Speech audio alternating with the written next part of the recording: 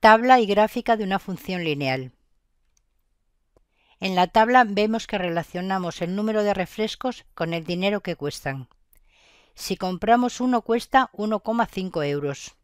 Si compramos el doble, dos refrescos, vemos que cuestan el doble, 3 euros.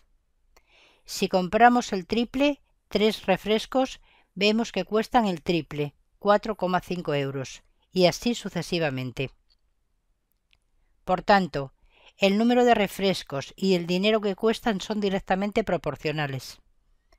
La constante de proporcionalidad directa se obtiene dividiendo una cantidad de la segunda magnitud entre la cantidad correspondiente de la primera magnitud.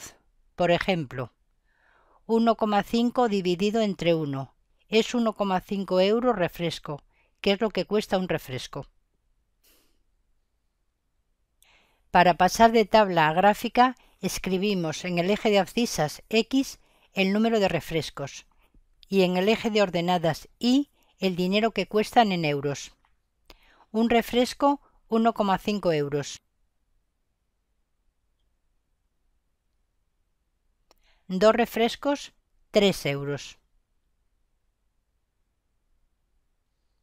Tres refrescos 4,5 euros. Cuatro refrescos, 6 euros. Cinco refrescos, 7,5 euros.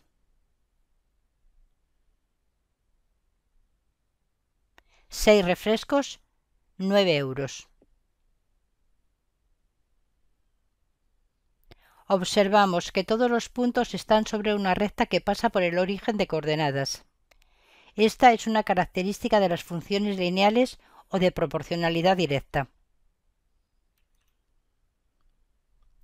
También podemos pasar de la gráfica a la tabla. Un refresco vemos que cuesta 1,5 euros. Dos refrescos, 3 euros.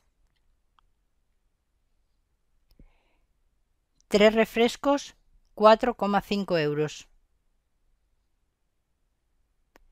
Cuatro refrescos, 6 euros. Cinco refrescos, 7,5 euros. Seis refrescos, 9 euros.